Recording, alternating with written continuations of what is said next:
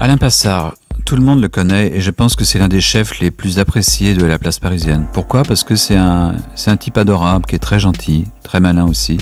Et euh, ce qui nous plaît dans sa cuisine, c'est son amour des légumes, de, de la simplicité aussi.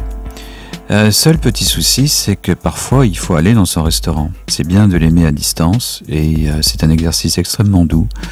Mais passer à sa table, pour moi, ça a toujours été quelque chose de très délicat. Pourquoi? Parce que c'est non seulement très cher, mais c'est très, très, très cher, monstrueusement cher.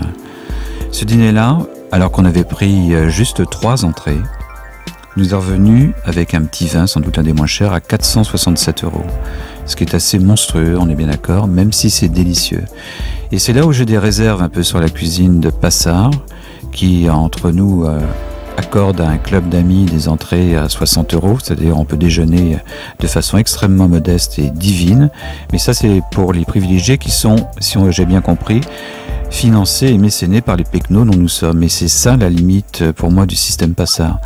Mais regardez en même temps, c'est ravioles légumes, tout ça c'est un moment délicieux, on quitte la terre, c'est léger. Moi, j'adore ce genre de cuisine. C'est euh, exactement ce que l'on aime, des carpaccio de légumes comme ça, bien assaisonnés, l'huile d'olive. C'est ces recettes qui nous font fondre, qui nous désarment. Mais lorsqu'il y a ce knout de l'addition qui vous attend à la fin du virage, à la fin du repas, euh, ça gâche sincèrement le plaisir. Euh, atmosphère extrêmement euh, soutenue avec euh, les gens fortunés, les, les as du CAC 40, les avocats en vogue et tout ça, quelques people. Et puis, euh, grand moment de ce dîner, c'est la betterave en croûte de sel que l'on découpe devant vous. Euh, je suis sûr qu'il y en a qui doivent ricaner en voyant ce truc-là parce que c'est un peu, euh, c'est limite, euh, c'est limite tordant, mais c'est délicieux. Cela dit, il n'y a pas de quoi en faire un plat. Euh, on en fait un à prix ronflant. Ça, c'est pas, euh, ça fait partie du, ça fait partie du jeu. Mais euh, un plat comme ça, euh, quelques fourchettes suffisent.